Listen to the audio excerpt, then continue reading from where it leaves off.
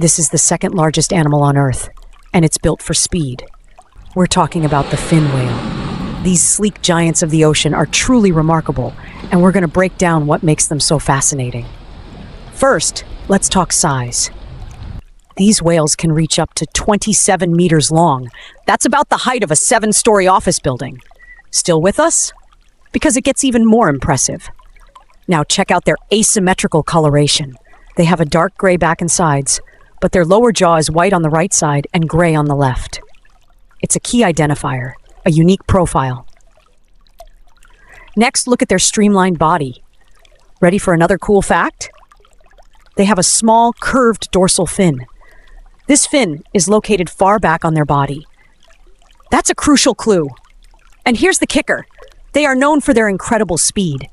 Want to hear something mind blowing? They are the second fastest whale, capable of reaching speeds up to 37 kilometers per hour. They're true greyhounds of the sea. Want to know where to find these amazing ocean animals? Fin whales are found in oceans worldwide, from the Arctic to the Antarctic. They're some of the most fascinating sea animals out there.